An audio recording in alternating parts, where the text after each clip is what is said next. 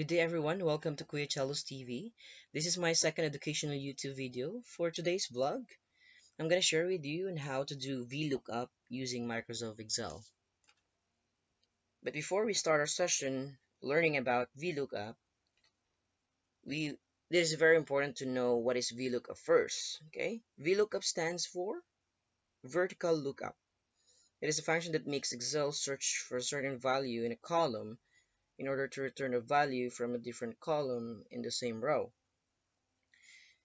And a VLOOKUP function, guys, exists of four components. The first component is the value you want to look up, or which is the lookup value.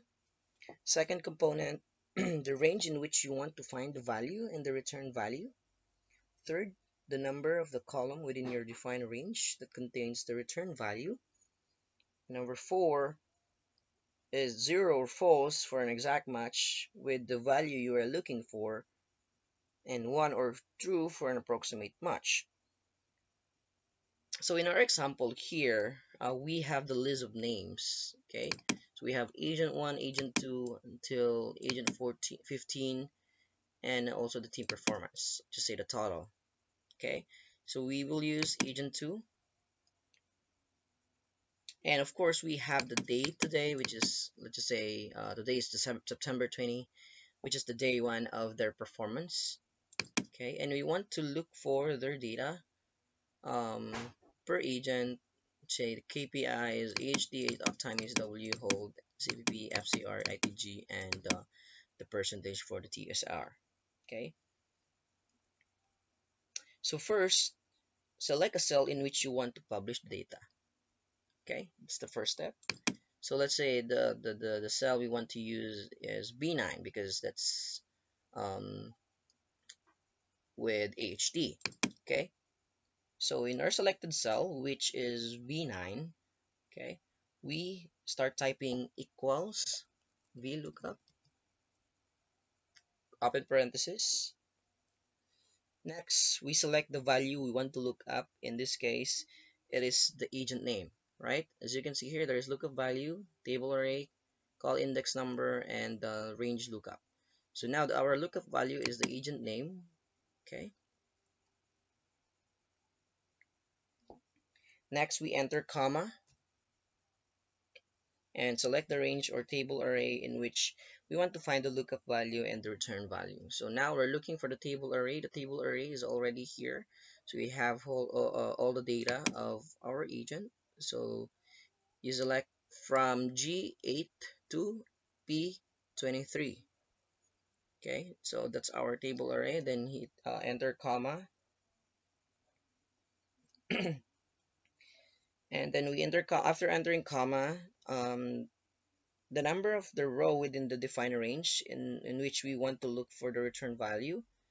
So in this case it's row 1 2 3 so it's row 3 because we're looking for HD data. Followed by a comma and the zero or false for an exact match with the lookup value for each agent. So now we're going to use zero because as we know the component, part of a component is there are two. The fourth component has true or false. First is 0 and 1. For 0, that's the true approximate match, and for 1, it's the false exact match. So let's put a 0 and and when it's enter um, we will get the, the corresponding data from the row or from the column that contains value within the selected table array so I'm gonna hit enter. Okay. So we have now the data for the HD of agent 1 which is 914 so make sure you check for as well at the same time after getting the data from the table array so it's the same. And you will do the same process as looking on the other data VLOOKUP open parenthesis lookup value comma table array is here comma that's number we're done with number three number go with number four for the index number comma and zero for the approximate match. Then hit enter we look up. So almost the same process.